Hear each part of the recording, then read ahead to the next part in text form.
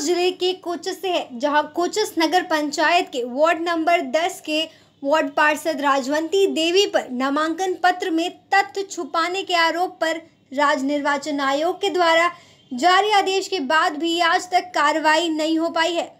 कोचस के पूर्व जिला पार्षद मुन्ना पासवान ने बताया कि कोचस वार्ड संख्या 10 के अभ्यर्थी राजवंती देवी ने अपने नामांकन पत्र में अन्य स्थान पर मतदाता सूची में नाम दर्ज होने संबंधी सूचना छुपाया था, जिसके बाद यह मामला राज्य निर्वाचन आयोग के पास गया, जिसमें राज्य निर्वाचन आयोग के द्वारा पतांक संख्या पचास बत्तीस दो के आलोक में जिला निर्वाचन पदाधिकारी को दिसंबर 2020 में ही कार्रवाई का आदेश दिया गया था।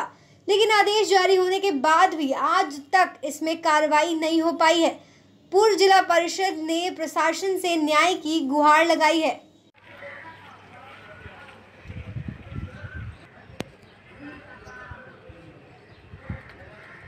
क्या दिक्कत हो रही है? क्या मामला देखिए सर ये दस नंबर वार्ड का मामला है। राजवंती देवी वहाँ के अभी वर्तमान में वार्ड पार्षद है। हमारी धर्मपत्नी प्रियंका कुमारी दस नंबर वार्ड से चुनाव लड़ी थी। मैं प्रियंका कुमारी का कुमारी का पति हुआ मेरा नाम मुन्ना कुमार पासवान है।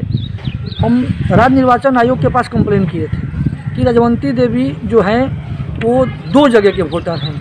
उनका गाँव इंदौर है और कोचस दस नंबर वार्ड में भी उनका नाम है। इस मामले को लेकर हम राज्य निर्वाचन आयोग को ज्ञापन सौंपे थे। राज्य निर्वाचन आयोग डीएम के द्वारा रजवंती देवी का दो जगह नाम में इस चीज़ का जाँच जाँच किए जाँच में डीएम के द्वारा यह जाँच साबित हो गया कि रजवंती देवी का नाम जो है वो दो जगह उपलब्ध है। रिपोर्ट के आधार पर राज्य निर्वाचन आयोग के जो मुख्य सचिव है, डीएम साहब को आवेदन दिए कि आप धारा चार सौ सैंतालीस के तहत अविलंब रजवंती देवी के ऊपर कार्रवाई कर कर हमें इस सिस्टम से अवगत कराने की कृपया करें। लेकिन दुर्भाग्य की बात है सर, हमको दुख के साथ कहना पड़ रहा है कि राज्य निर्वाचन आयोग का नियम का भी पालन डीएम सर के द्वारा नहीं किया गया। दिनांक 29 दिसंबर को इस लेटर को डीएम ऑफ़िस में आया, लेकिन अब तक इस पर किसी प्रकार का कोई कार्रवाई नहीं किया गया। मुझे सरकार पर पूरा भरोसा है, मुझे न्याय पर पूरा भरोसा है। हम आपके माध्यम से ये सूचना सभी को देना चाहेंगे कि जिस पर धारा चार सौ सैंतालीस के तहत चार का मामला क्लियर हो चुका है। राज्य निर्वाचन आयोग के द्वारा आदेश दे दिया गया है। किन किन कारणों के वजह से इस फैसले को रोका गया है? किस आधार पर उस महिला को इस नगर पंचायत के ऑफ़िस में आज भी भाग लेने के लिए भेजा जाता है?